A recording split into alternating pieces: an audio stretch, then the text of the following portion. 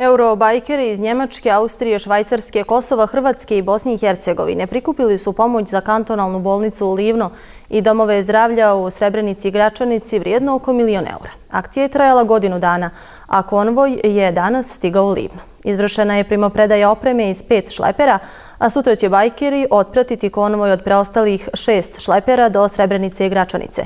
Pokrovitelji konvoja su Martin Schulz, predsjednik Evropskog parlamenta, Marije Louise Beck, predsjedavajuća Njemačko-Bosansko-Hercegovačke parlamentarne grupe u Bundestagu, Hans Walter Steinmeier i Srećko Boras, član parlamenta federacije, predsjednik Eurobajkera Bosne i Hercegovine. Eurobajkeri svake godine rade po jednu humanitarnu akciju za područje Balkana. O stanju u kakvom se nalaze pojedine države i njihove zdravstvene ustanove doznaju zahvaljujući svojim članovima, te nastoje intervenirati gdje najpotrebnije. Odlučili su napraviti akciju za Srebrenicu.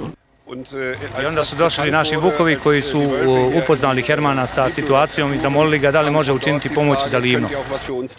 Posjetio je Livanjsku bolnicu s predsjednikom bosansko-hercegovačkih eurobajkera, vidio o kakvom je stanju i što nedostaje, te su počeli s prikupljanjem pomoći i za ovu zdravstvenu ustanovu. Radi se o bolničkom namještaju, e, e,